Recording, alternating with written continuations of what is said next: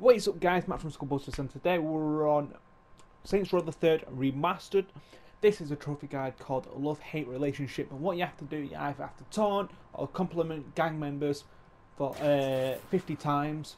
And uh, for you to do that, you've got to press your right button on the PC, uh, on the PlayStation pad and the Xbox pad. I don't know what it is on the PC, and you got to press the. So that the right button is a compliment. The left button on the PC, uh, on the PlayStation and Xbox is the taunt. So if if you don't custom uh, taunts and compliments, go to image as design. And I don't think I even got money to. Okay, so when you come into image as design, what you don't you want to pay for your surgery. Then you go to your personality and then you can change your compliment or you can change it uh, change your tone.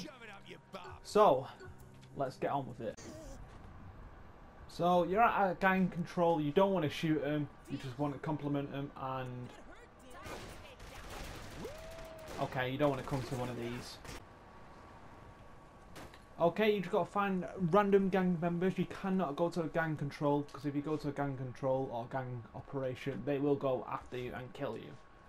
So just find people on the street. So there's one right here.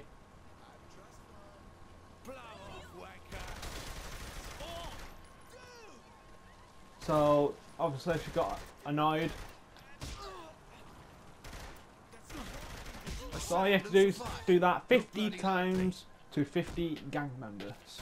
So you have to do it to 50 gang members one time only. So I need to do it another 49 times. So thank you for tuning in. Stay tuned for more and I'll see you all soon. Adios.